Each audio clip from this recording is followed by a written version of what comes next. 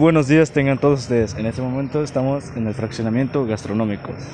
Es correcto, la Supermanzana 77. Buenos días a Cancún Channel, a todos y a todos los que nos están siguiendo en esta plataforma y en este día. Candidato, a lo largo de estas semanas que han pasado desde el inicio de las campañas, ¿cuál ha sido la aceptación de la ciudadanía? Muy buena, muy buena y sobre todo aquí en el fraccionamiento gastronómicos lo que nos están pidiendo son mejores servicios públicos, la pavimentación de las calles porque ya están muy rotas las calles acá, han solicitado el apoyo del gobierno y no se les ha dado.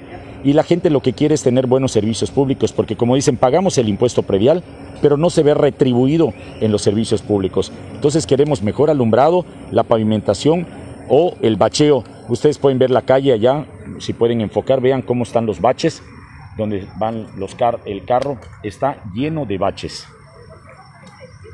¿Y cuál es la propuesta que le trae a la ciudadanía de este, de este fraccionamiento? En el tema número 4 de la propuesta que nosotros estamos presentando, un gobierno que vaya de acuerdo a la ecología, también que sea sostenible y sustentable. ¿A qué me refiero? Que podamos darle a los vecinos de Benito Juárez, a las vecinas y vecinos, buenos servicios públicos, buena pavimentación, vamos a pavimentar calles, vamos a traer una máquina que se llama Dragonera para que esté pavimentando calles, calles, vámonos, vámonos, porque lo que quiere la gente es que tenga buena vialidad en su casa. O sea que sí va a mejorar las calles, no como los gobiernos que solamente parchan. No, no, no. a pavimentar. Vamos a pavimentar, no solo vamos a estar parchando, como dice, no, no, no, no no eh, es más bien la pavimentación lo que está pidiendo la ciudadanía. ¿Y cuál es la propuesta del día de hoy? Bueno, pues eh, recuperar la paz de los benitojuarenses.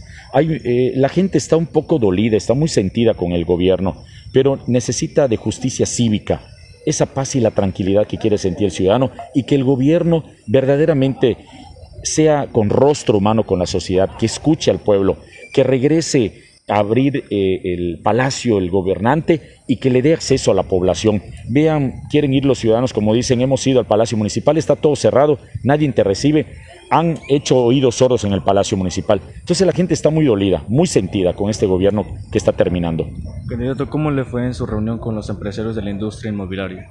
Muy bien, de hecho, con los de la industria inmobiliaria, los del AMPI, hicimos varios acuerdos también. Ahí yo les presenté un esquema de tener mucho contacto de catastro con el gobierno del Estado, no subir más el impuesto predial por el momento, hay que estabilizar las tablas catastrales, pero sobre todo que tengamos digitalizado toda la información donde tanto el empresario como el contribuyente puede ir a sacar una cédula catastral y no tengan que estarle cobrando dependiendo de la urgencia que tanto requiera, sino que pueda hacer su trámite mediante un sistema y pueda recibir la información que requiere, obviamente con su previo pago que va a hacer sin que medie de por medio la corrupción.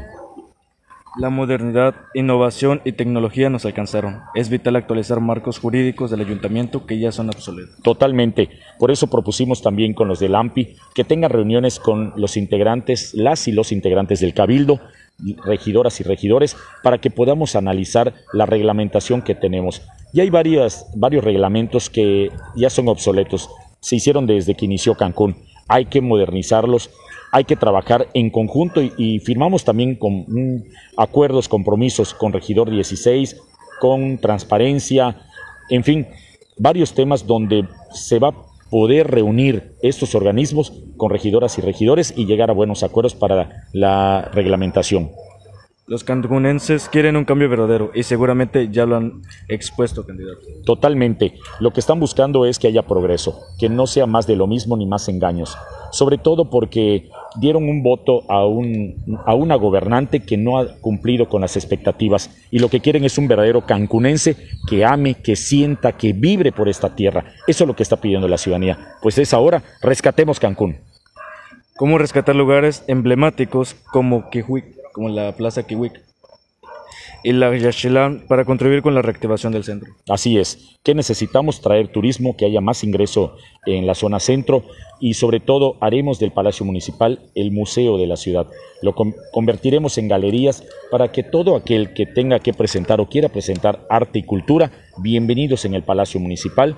Presentaremos espectáculos afuera del Palacio Municipal también y culminaremos con un videomapping donde podamos transmitirle a la gente, a los turistas, nuestra riqueza de cultura maya.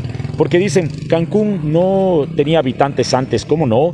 Tenemos ruinas arqueológicas, aquí habían habitantes en Cancún, en Ruinas del Rey, San Miguelito, en el Meco, etcétera. Eso quiere decir que había gente que realmente estuvo viviendo acá. El plazo que les dio el IECRO para retirar la publicidad de la alianza va por Cancún ante la queja del PRI está por vencer? no, todavía no me han notificado. Sé que ya puso una queja el PRI, no nos quita el sueño, nada más es el eslogan, va por Cancún, que no representa nada. Lo que representa para nosotros es que nos reciba la gente, tener contacto con la gente y hasta que me notifiquen hay un plazo de 72 horas para proceder. Pero eso es, la verdad, no, no, no representa nada. ¿Algún mensaje para la ciudadanía? Sí, decirle a la ciudadanía que debemos de seguir en contacto, que regrese la paz y la tranquilidad social, pero sobre todo que trabajemos en armonía, gobierno y ciudadanos, pues es ahora, rescatemos Cancún, como les digo. Gracias, Gracias a ti. Gracias, gracias a Cancún Channel, nos vemos.